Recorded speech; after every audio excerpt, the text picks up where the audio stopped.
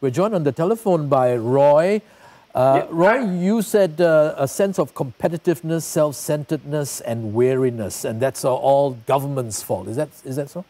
For all the governments, fault. well, my perception is that policies do, because Singapore is a very small country, so whether or not our society evolves really depends also on the policies that are um, um, created. So, mm. because our policies are very geared towards competitiveness, and people in Singapore, it's always about me getting ahead, um, me what can I do for myself and what can I get for myself. So eventually, I think it creates a sense of um, self-centered behavior, and that is why it pervades in all parts of our society. Say, when you're on the roads, we might honk.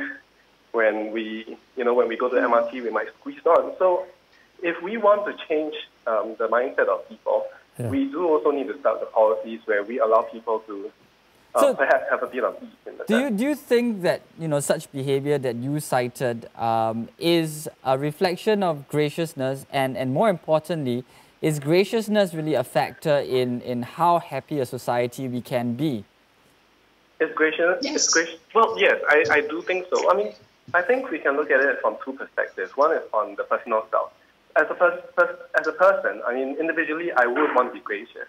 But whether or not the social circumstance allow me to do that is also another factor, and the social circumstance is also okay.